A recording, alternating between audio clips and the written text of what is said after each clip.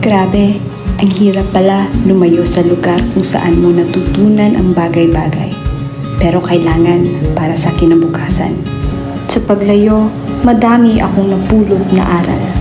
Isa na doon, paano maging matapang at makisama sa mga taong dati hindi mo kakilala at ngayon naging kaibigan mo na at naging kasama mo sa paglaban at naging bago mong pamilya.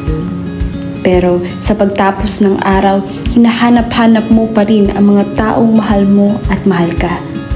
Dahil iba lang talaga sa pakiramdam kapag nakauwi ka kung saan ka talaga nagmula.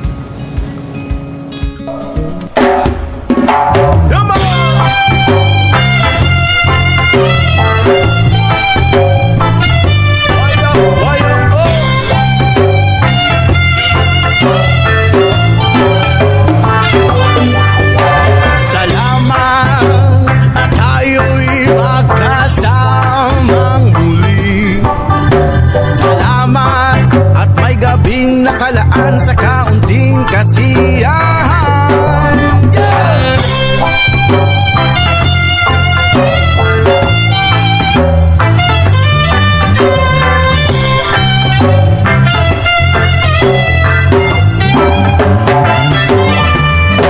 Salamat at tayo'y nagkasamang muli